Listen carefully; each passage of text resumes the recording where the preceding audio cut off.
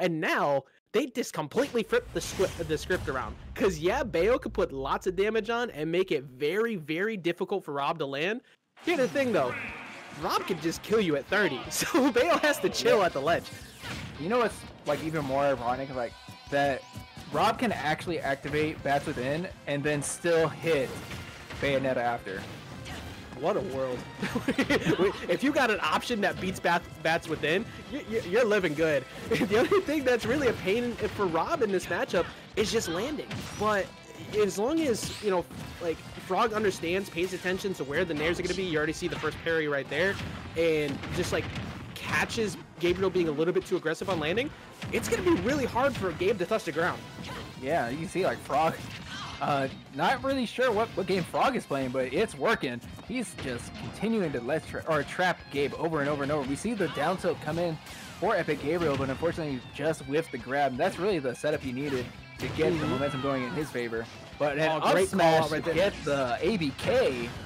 That that's the tried and true, right? Like every Bayo at some point is going to ABK from the ledge, especially. Ooh, that was almost such a good call on the air dodge with the up smash. But like Gabriel's so good at dealing with matchups that could be kind of annoying, right? Because he understands, look, I got the KO power, I'm gonna be fine. And there's a good answer right there. Up smash out of shield, we'll take the first stock. Mm-hmm. That's true, and of course you can see Frawg already on the hunt. But Epic Gabriel taking his time to come back to stage. I like I like the safe pressure that Frawg's doing right now. Just kind of jump out there with the forward airs, just trying to not overcommit. You don't want to give yourself off-stage positioning when you have Gabriel who's willing to go off-stage to take a trade. But there you go, uh, the Witch Time. I almost forgot what it was called for a second. I don't see his character anymore. Witch Time coming through, get him to out smash, and Frawg's still looking good here. Okay, there's that heel slide, and just like that, you know, we see a role reversal where uh, we had Frawg sitting center stage with stage control, and all of a sudden now it's in the hands of Epic Gabriel. Yeah, Gabriel's doing exactly what you need to do in this matchup. It's not about attacking Bayonetta where she is, it's about attacking where she's going to be. You need to understand where they want to move because they're always on the move because they're move they, they just have great options to do so. So as long as you have attack anticipation and good reads, Ooh. like that, that's going to be Gabriel's gonna just run with the set. That's true, that's true. Here we go. More ABKs on the shields. Oh, there it is. The witch time. And just enough. You don't even... Like, Frawg didn't even wait for, for, for Frawg didn't even need Witch Time to to the the entire duration. He actually let Witch Time end and then still hit Epic Gabriel with the forward smash. That's that big body, friend. You ain't getting out of this. And I like Frawg's patience now. Frawg went from kind of just consistently going in after Gabriel. Now, not only did he wait for it to do something on the platform, stood directly in front of him, waiting for him to swing on the landing to get the grab. Although he's currently behind in percent, you can see Frawg is adjusting pretty well here uh, to what Gabriel wants to do. And that time being aggressive, catching the downer and keeping the combo going. That's true. And speaking of combos going, Frawg's combos were just kept going and going and going.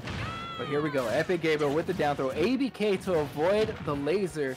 And oh, Frawg is playing so evasive. I like...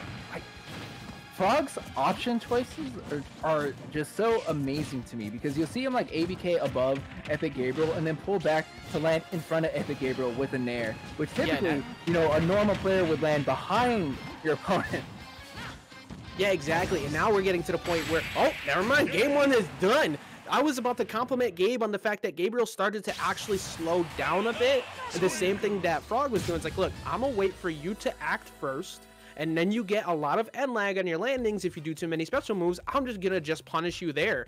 But afterwards, Frawg just had the timing, understood when Gabriel wanted to swing on landings because it's so mm. hard for Rob to land in mm. general. They got to swing with that Nair and punished it a few times for those stocks. Good job for game one for Frawg there.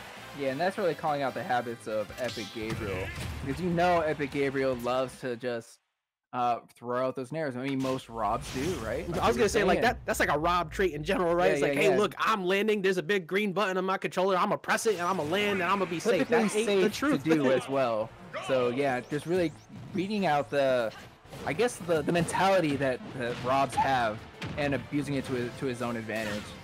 Yeah, I, I think if Epic Gamer wants to get the W here in game two, he has to replicate that success he had of what is he right there. He's waiting for Frawg to be done moving, doing stuff, and then punishing. That's your biggest opening as Rob in this matchup. Because otherwise, if you try to box with Bayo on air to airs, you're gonna get hit a lot. And you're gonna take like right there. He tried to get out of the corner by jumping and swinging, and he ends up taking not only a big damage, but a frame chop. Unfortunately, it came to an end a little bit early for Frawg.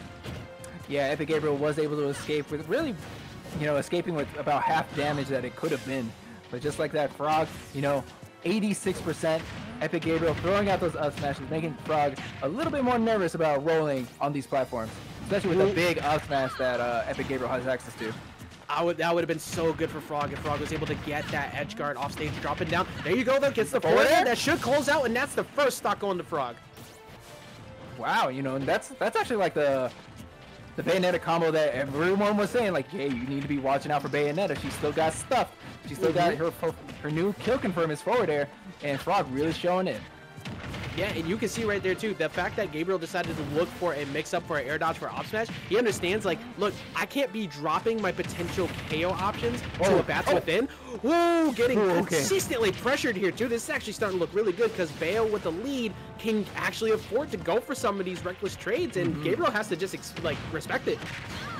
Okay, mashing just Oh, Epic Gabriel throwing the up air a little bit too early, but still getting the last hit, and that's the hit that matters. But up tilt, up tilt into up B. Here just continue to witch twist over and over and over. Frawgs putting out so many multi-hits, making it so difficult, but okay, Epic Gabriel uh, utilizing the up B, escaping, but still has not touched the ground. And look at Frawg's damage. Oh, and the risk, the risk reward.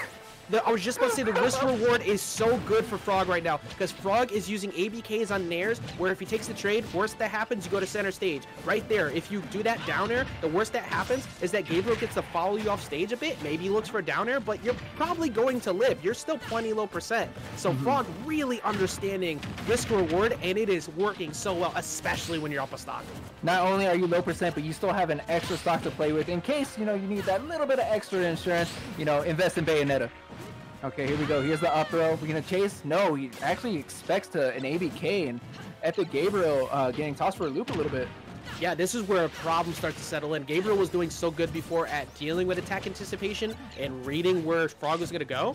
It ain't working anymore, and once that mm -hmm. stops happening, that gets really bad. You have to find those punishes with the grabs. The pretty much the only way Rob wins in this matchup is getting a lot of grabs, and, and, and that that's it. Otherwise, you can't really pressure her like this. Look at these landing coverage. Frawg probably going for something at the ledge, looking for a get-up oh. option with that oh. smash, of course, but he doesn't get it. Okay, try to get the, the jab one, two, to maybe even get like a little bit of a, a jab reset, but here we go. Here's the down throw. What's the match look like? Gets caught, and Epic Gabriel evening up the stocks. Now, yeah, like what Frawg has been going for because you can see like in these close scenarios, he's actually been jumping, like short hopping, and then immediately ABKing just to try and get uh, a little bit close the distance between himself and Epic Gabriel. But Epic Gabriel is starting to throw out a little bit more gyro, boxing him and then say, retreating. I was about to say, I have a chart of characters that I uh, like. At last stock are some of the most fearful things to fight in this game. Even though Frawg has KO percent and everything right now going for him, if you push too hard running after a Rob, they will cheat. They will catch you with a side B and get an early KO. Oh, speaking of cheating, he was cheating. He buffered the roll and he got through. He's going to look for a high recovery, tries to catch him with a gyro. The up smash does not get hit though, and he tries to catch him with a spot dodge read for the forward smash, but he does not get hit. And then the down smash connects and Frawg is now in a position where he could possibly lose this game. So money, so much spaghetti from both players, both either whipping and then getting the whip punished, and then whipping and then getting another whip punished. but another down air right in front of Epic Gabriel, and that, that's all it took. My goodness, shield a little too early. And if you look back just seconds before that, not that long before that, Gabriel almost hit the back air that wouldn't have KO'd, but it would have put Bayo so close to the blast zone that it would have let him run up, set up an edge guard, find maybe a gyro hit that could have taken the game away from Frawg, but because that didn't happen, Frawg was able to uh, consider, you know what, I'm just going to go for this down air right here. If it trades, I'm probably going to win. That was a